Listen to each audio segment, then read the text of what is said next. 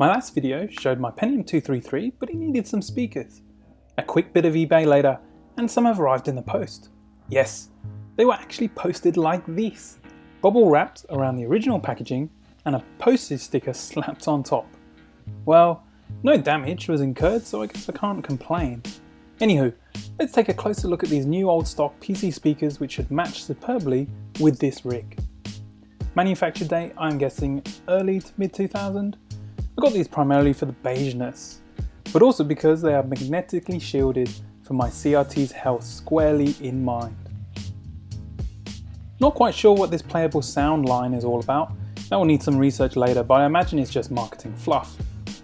Straightforward packaging, but it's satisfying to pry off the plastic around the kit. Nice to see no discoloration at all on the units themselves, they are super light, so I'm not expecting exceptional performance out of these, but I do have other modern speakers if I need more oomph for certain games.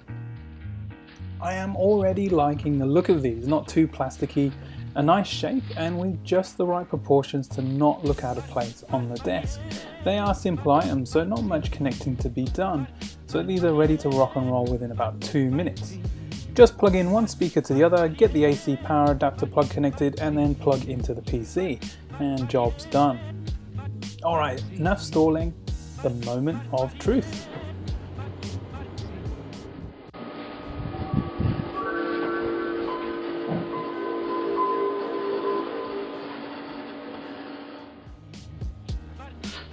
And yes, there you go.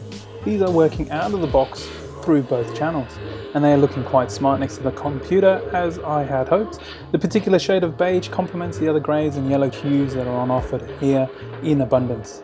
Looks like getting a brighter CRT will also be on the wish list for this machine too. Even with the lights off, the camera can't pick up the screen image. All in all, I'm very happy with these. New old stock electronics, even cheap stuff like this is always fun to unbox and set up. Let's see what other items I can get for this little PC. More videos coming soon. See you in the next one.